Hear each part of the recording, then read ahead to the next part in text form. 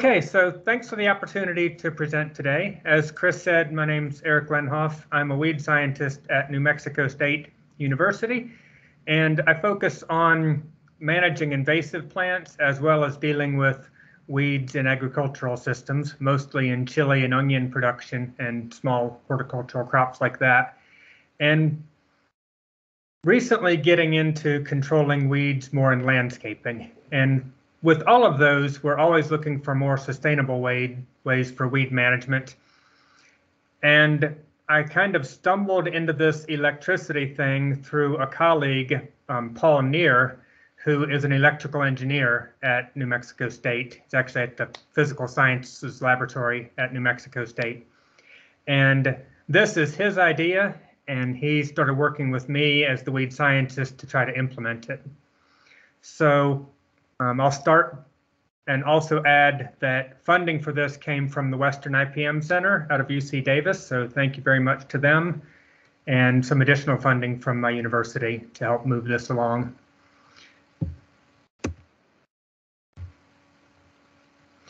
Okay, so the first question is why would we even want to kill weeds with electricity? And you're all IPM specialists, so you probably already have good answers to this. But just one example is we've got something like this tree of heaven growing in somebody's landscaping. And there are lots of ways that you could deal with that. You could spray herbicide on it, but that might have some off target effects on other plants. If you try to dig it out, you're going to make a mess with the landscaping. If you cut it off with a saw or some clippers, it's probably just going to grow back. So as an alternative, electricity might be used in this situation to have a very targeted effect and take out one plant without causing off-target impacts.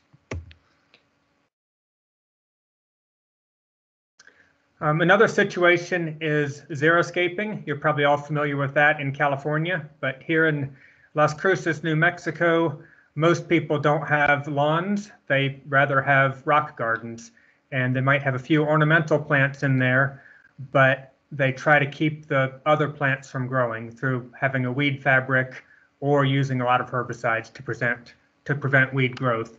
And we've come up with a way that we could potentially use electricity to prevent these unwanted plants from growing up through the xeriscaping. And one final one that I'll talk about today is using electricity to prevent vines from climbing up on structures. All right, so I thought it would be useful to have a very, very brief introduction to actually what even is electricity before getting started here. So electricity can be thought of as a physical phenomenon that's associated with matter with an electrical charge.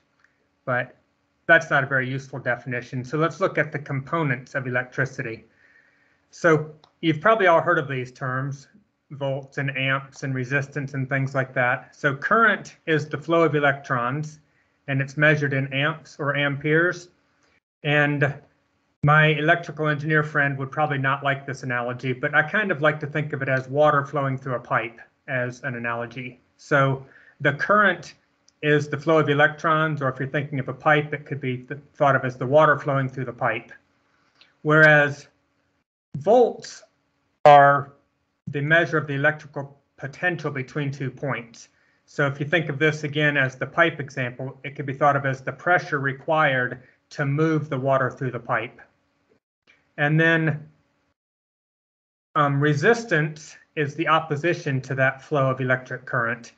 Thinking of this in terms of water, resistance would be dictated by the diameter of the pipe, with a bigger pipe having less resistance, and it could also be the roughness inside of the pipe that could affect the resistance.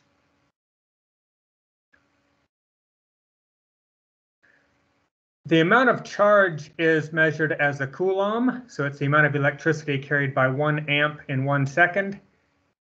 And You've all heard the term watts. That's the measure of power. So it's the electrical work performed when one amp flows across one volt of potential. And there's relationships between all of these things. And some of the most important is I, which represents current equals volts divided by resistance, or another way you could rewrite that formula as volts equals current times resistance. So the point here is that if resistance goes up, then the voltage has to go up if the current stays the same. And I'll explain a bit more why this is important. Um, if you're one of those taking an exam after this is all over, remember V equals I times R. That's an important formula for how we're thinking about how these systems work. Okay, here's a question that has an obvious answer. Can electricity kill plants? You've probably all seen trees that were struck by electricity and maybe have seen the aftermath of that. So yeah, certainly electricity can kill plants. With lightning, we're talking about something like a million volts and 100,000 amps, which equals around 10 billion watts of power.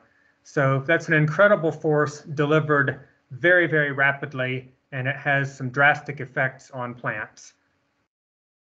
And at this point, it's worth pointing out that something as little as 10 milliamps can actually be lethal.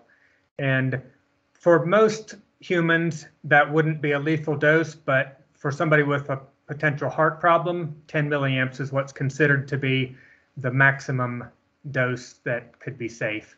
So for these systems, we're trying to think of how can we keep the milliamps at 10 or lower. Um, 120 volts can be lethal. So that's what your house is at, 115, 120, something like that. So we're talking 1200 watts in these potentially lethal systems. So how can we make this practical?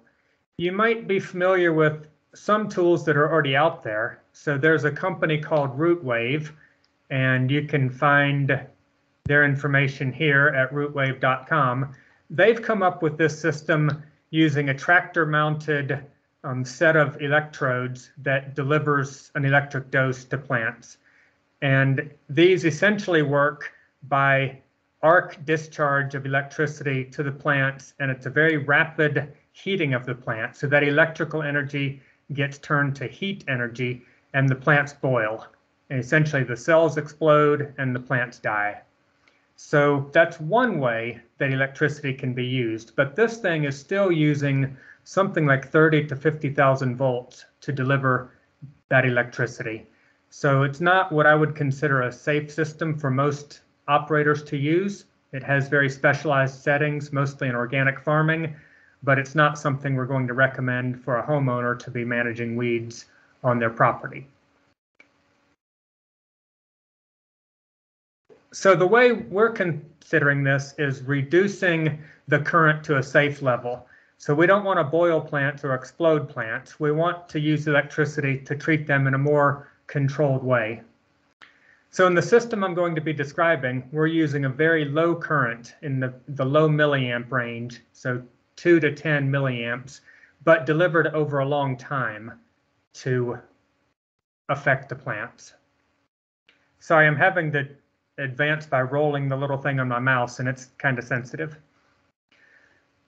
So we can vary the dose that an individual plant gets by keeping the current constant, but varying the time that the plant's exposed to the electricity. So that's how we might kill a tree over a long period of time rather than with a very high dose over a short period of time.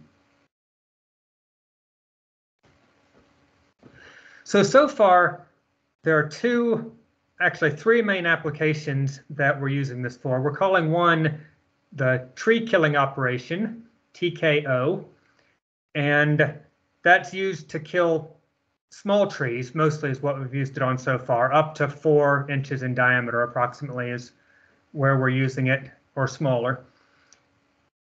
And we're also using it in a way we're calling WKO, or weed killing operation, trees could be weeds too, but just for simplicity, we're keeping TKO for, for hardwood trees and WKO for other things. We're also using it to control climbing vines, as I indicated earlier, but that's still in the WKO class for us. So here's a simple conceptual diagram of how this is set up. We have a current source here um, see if I can get a laser pointer. All right, so we have a current source, and I want to point out now that even though this says AC line power, we're saying that's where the initial electricity can come from. But this is a specialized device that reduces the current but increases the voltage. And with that said, you cannot just plug this into an outlet in your house and stick the wires into a tree and hope to kill it. You you might might kill the tree, but it creates a very dangerous situation. So again, I want to point out this is a a device that's been built specifically to do what we're trying to do here, and it lowers the current and boosts the voltage, and it actually converts it to a DC signal instead of AC, so it's direct current. So anyway, you have a current source, then you have a wire that connects to a ground rod, and then you have another wire that's connected to a screw or a nail or something that's put into the tree somewhere down near the ground.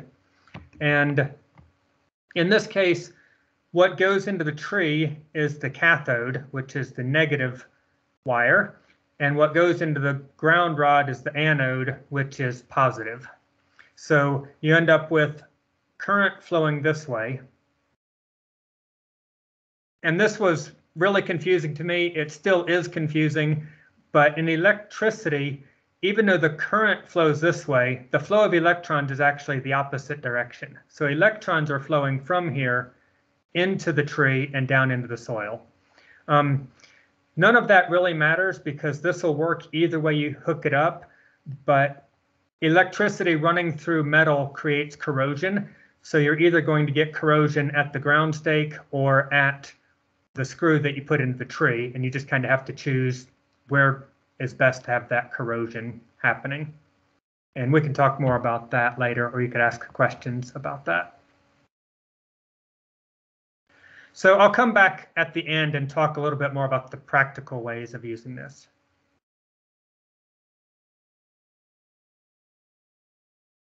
So this is an example or a picture where a tree was killed in uh, Paul's yard, the creator of this. So this is, I believe, a small Siberian elm that was growing on his property. He has a pecan orchard there, and he always gets unwanted trees popping up in there, but he doesn't want to use chemicals. So he treated this tree. Um, this diameter, couple inch diameter, probably took a few days to treat at a low amperage. And it's just a before and after picture of the treatment. What we found in general is that the amount of current required or the ampere hours required to kill a tree is proportional to the diameter of the tree. So this is showing the diameter going from 2 all the way up to 10 centimeters. And there's sort of a linear response of the amount of ampere hours needed to kill the tree based on diameter. So bigger trees require a longer time to treat. So hopefully that's pretty clear. You might recognize this tree, this shrub, it's salt cedar or tamarix. And we weren't really in this application trying to come up with a way to kill tamarix. Really what I was interested in finding out was, does the herb, sorry, does the electricity act similar on these trees to what a herbicide would do? So maybe you've seen dose response studies where you apply several doses of herbicide and then look at how that affects the mortality of the tree or the biomass. Well, so that's what we did in this case. We treated a bunch of salt cedars. They were all in pots in this case and we treated them for 0, 12, 24, 36, or 48 hours at 2 milliamps. So that ended up with these different treatments across the x-axis. And then we recorded the change in biomass for the plants. So those that were not treated, so zero, they had a lot of biomass produced. When they were treated for 12 hours, which is 24 milliamp hours, um, biomass was reduced, and by the time we got out here to treating them for 48 hours, then they um, did not put on any new biomass after the treatment. So essentially, we killed them at that dose. So again, this wasn't really trying to demonstrate how we could kill tamarix. We we're just trying to understand how trees might respond to different doses. So it's more like proof of concept that this is acting as something that's dose dependent. Okay, um, we did lots of other experiments on killing trees and we're very confident that it works, but every tree is different. So as of this point, we don't really have a prescription for how to do this because we're still experimenting on unwanted trees around Paul's house and around my house and just trying to to hone in on how it's working and hopefully eventually be able to come up with guidelines for how to do it. Okay, so moving on to weed killing operation, WKO. This is also at Paul's house, and he just laid out these big strips of chicken wire down on some Bermuda grass that was growing near his driveway.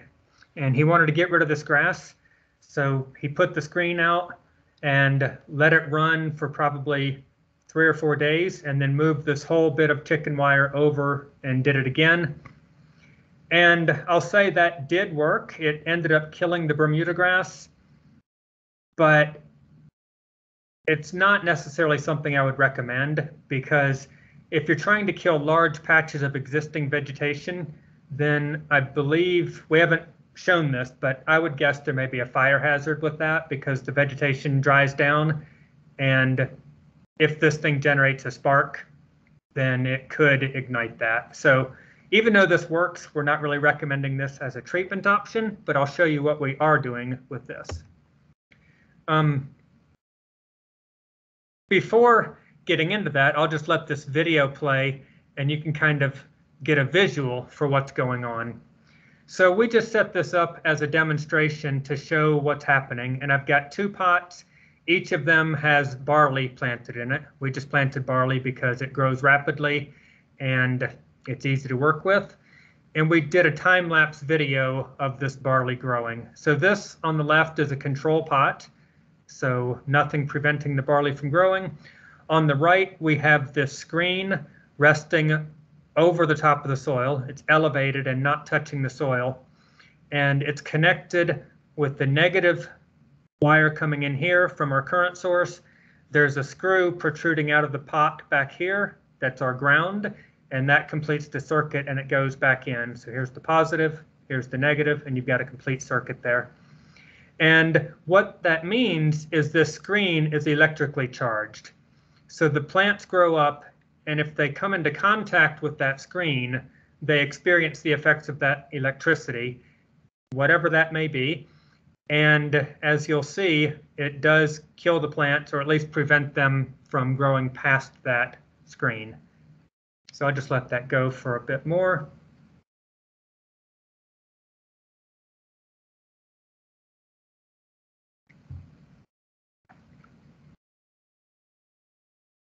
So as you can see, some of these barley managed to grow through. This is quarter inch mesh on the screen, and some of them get lucky and they manage to go through that, but eventually they get unlucky and they touch the screen and once they make contact with it, then they slowly die.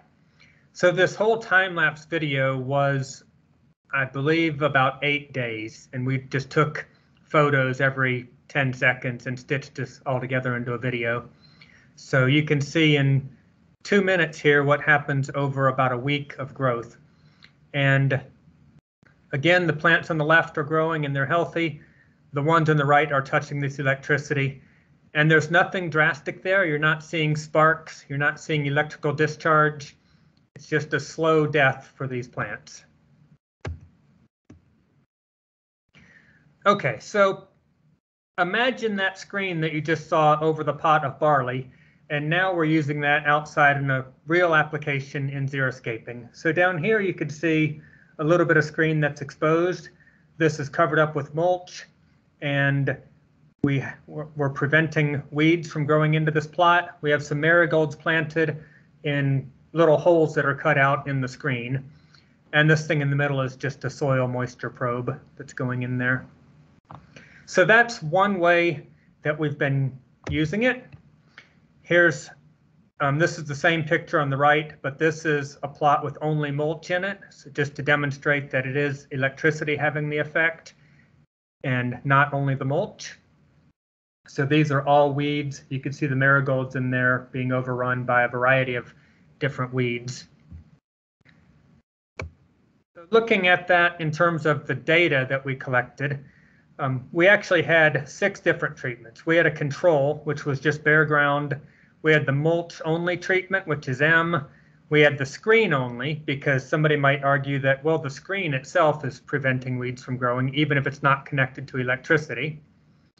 We had the screen plus the mulch, and then we had a screen that was electrified but not covered by mulch, and finally the screen with electricity and mulch. And in this case, each color is a different date in 2019 and the y-axis is the cover of weeds, so the amount of weeds in these plots. And you can see in the control and in the mulch and the screen only, the weed pressure just kept increasing over time. Um, the screen and the mulch, even when it wasn't electrified, actually prevented some weed growth, but there was still quite a bit. But when we electrified the screens or electric and covered with mulch, we had really good results keeping the weed cover in these plots down to maybe 5%. So that was pretty good. But what we did notice was during our rainy season, which is July, August, September, the ground was staying a bit saturated and it the screens don't work well when the ground is wet because as you remember I talked about resistance. So if the ground is wet, that means there's almost no resistance for the electricity to flow directly to the ground. If the ground is really dry, electricity is not going to flow through dry ground very well. So it needs to flow through a wet plant instead. But if the ground is wet, then the electricity takes the path of least resistance. So there's no resistance. It goes straight to the ground and it does not flow through plants. And that was allowing some plants to survive in these wet conditions. So we tried another experiment where we, instead of using mulch, we used a landscaping gravel. And in this case, we have a control here, so very weedy control plot. Um, we had gravel only. We had the screen lying on the ground covered with gravel, and the screen was hooked up to electricity. And then the one that really worked for us was we basically made a screen sandwich. So we had gravel, screen, um, gravel on the ground with the screen on top of it, and that was covered with more gravel. And the gravel on the soil surface prevents the screen from directly contacting the soil surface, and the gravel covering the screen is to protect people or animals from stepping on that screen. And we had multiple rep, mul uh, multiple replications of this set of treatments. And I'll just show you some more graphs here. So in the control, so no electricity, no screen, no gravel, we had very high weed cover increasing over time. In the gravel only treatment, the gravel initially suppressed the weeds, but as you can imagine, they penetrate through that gravel and increase over time.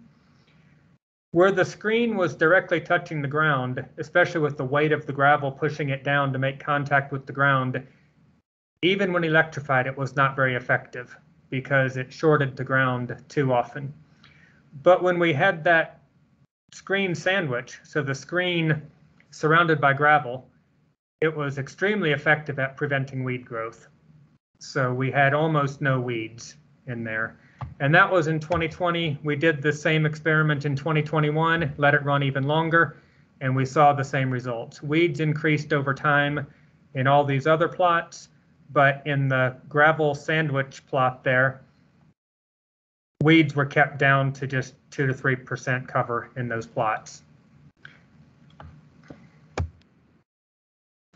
All right, one other method that we were using is to try to prevent weeds from climbing up onto structures. And this idea was brought to us by the local utility company, El Paso Electric, because they have problems with weeds climbing up power poles, and that becomes um, a hazardous situation, potentially a, a, fire hazard, as these weeds end up into the power lines.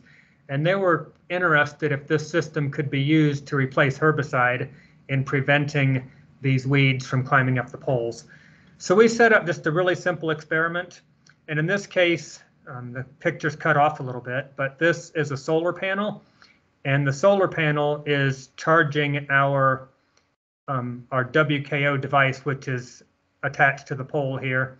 So these are 20 watt solar panels and they're running our, our WKO system in this case. So it doesn't have to run off of AC that's converted to DC. We have direct DC current here. But anyway, we set these poles up. Um, one of them is treated with electricity, the other is the control. And this is a close-up. On both of the systems, we had a screen down low, chicken wire actually, that gave the weed something to climb on. And then we have a little break between the the lower screen and the upper screen, and the upper screen was either charged with electricity, as shown on the right, or not charged with electricity. And as you can see, the weeds climbed no problem. This is um, field bindweed, Convolvulus arvensis. So it climbed just fine up the screen that wasn't electrified. But on the one where this screen was electrified, then the weeds would climb up and touched the screen and it actually got a little burn on there, which is interesting. So all that charge gets discharged into the plant all at once and it created some local burning right there. And this doesn't kill the weeds, which is okay because the power company's not necessarily concerned about killing the weeds. They just want to make sure that the weeds don't climb up the towers. So this is a graph similar to the last one, um, but here we just have two treatments. We have the control and the treated poles. And this one shows the height of the plants. So in the controls over time, over the different dates here, the weeds climbed higher and higher up the pole. But in this one that was electrified, the weeds did not climb at all. They couldn't establish and climb up the screen. Same thing with cover. We estimated how much of that pole was covered with weeds, and that increased up to 50% or so by the end of the experiment in the control. But in the treated one, the, again, the weeds were not able to climb up the pole. So very effective treatment in that situation. Okay, so some of you may be asking, well, how does all of this work? And the simple answer is we actually don't know the mechanism by which the plants are being killed. Um, and that's not uncommon. Even with some herbicides, it's still not known how they kill the plant. It's just known that they do. Um, we know more about that now than we used to, but nonetheless, it's not always obvious how plants are dying. So with this system, we do know that it's not directly related to photosynthesis because the current has no reason to flow through the leaves. The leaves are not experiencing any of this electricity because it's completing that circuit going down through the roots and back into where it's connected. Um, on the that's on the TKO system where it's connected by a screw. Um, it's not likely to be anything related to nutrient uptake, although that would be affected, but the plants die too rapidly for that to be the case. This might bring back nightmares from high school biology or something, but it's well known that life is really based on the flow of electrons through cells. And this system is undoubtedly affecting the flow of electrons. So we don't know exactly which of these pathways may be affected by all of this, but the electricity limiting the or altering the flow of electrons certainly has something to do with how this works. And we've also demonstrated that electricity is affecting um, things such as cellular respiration. So I won't go into too many details, but we did an experiment where we were treating plants in the laboratory and we had them in airtight chambers that we could measure photosynthesis and respiration in. And we found that in the treated plants, cellular respiration was lower than in the untreated plants, so it's doing something to respiration, but we're not sure if that's the cause of mortality or not. We did one other really cool experiment, which I'll just share briefly with you. We treated a whole bunch of Arabidopsis, and these are the little mustard plants, which for these plants, um, the entire genome has been sequenced. So if you connect, collect RNA samples from these plants and analyze those, you can tell exactly what processes the plant was upregulating or downregulating at any given time. So we did this experiment where we treated plants for several hours, up to 12 hours or 24 hours, and then compared those to the controls. And no need to get hung up on details here, but this is showing based on the RNA samples that there are a whole lot of things that are upregulated in the plant that's being treated compared to the ones not being treated.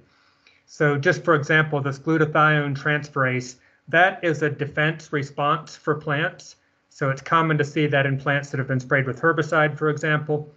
There's a lot of other things being upregulated as well, uh, pathways that indicate attack by insect or response to a fungal disease. All of these activities in the plants are being upregulated in an attempt to defend themselves from whatever it is that they perceive to be attacking them, which is electricity in this case. There are also things that are downregulated. So this shows things that are um, happening much less in the treated plants compared to the untreated. So very important things like RNA binding and building of the cytoskeleton, these things are downregulated in the plants treated with electricity. So this doesn't necessarily relate to IPM, but it's it's fascinating trying to understand how these plants are experiencing electricity and what processes that's affecting. Okay, so getting on to how to actually use this thing. Um, I won't go over this wiring diagram, but I wanted you to have that. I know this presentation's recorded, so you can go back and look at this. If you want to build one of these systems, here is the very simple, basic wiring diagram for how you would do it. So you could do that if you have some some basic knowledge of building circuits. Um, but again, no need to go through the details on that. What I will say is that the, the systems we've used have all been custom built. And we initially started doing this and we thought, this is great, we're going to patent this and going to be millionaires, then we'll retire. But that never happened, right? When we got the patent attorneys involved in this, they found that a company in Germany had obtained a similar patent just months before we put in our application. And I haven't been able to get much detail on what they're doing in Germany, but their patent is extremely broad. It simply says they're killing plants using direct current. And, and that's about it. So we're trying to work with the attorneys to try to figure out if there's some way that we could license this and actually start, you know, having some of these things built so it can be more widely adopted here in the US. But in the process of all of that, we discovered that a simple piece of laboratory equipment that, you know, it's all over the campus here at NMSU in the biology department are these electrophoresis machines. So these are things that somebody will use in a lab when they're working with DNA or RNA to run various tests. And it turns out this machine does almost exactly what this thing that we built is doing. It delivers a constant current and you can alternate the voltage on it. So this is showing it's operating at 300 volts here. And that's similar to what our system does. We're running at a current of less than 10 milliamps typically, but around 250 volts. So this piece of equipment can be used, and we did buy some of these and have used them in our experiments, and they work for for treating plants. So I'm not endorsing this company, and I'm not saying that this should be used outside of the specs that it's actually designed for, but it it happens to work for us. So I'm going to stop with that. I'm sure there will be lots of questions on how to actually do this and what to expect. But again, I want to thank the Western IPM Center and my Agricultural Experiment Station for providing some funding on this. And thanks to all the people who helped. And My email address is there. So with that, I'll be happy to answer some questions. Great, thank you, Erik. You're welcome.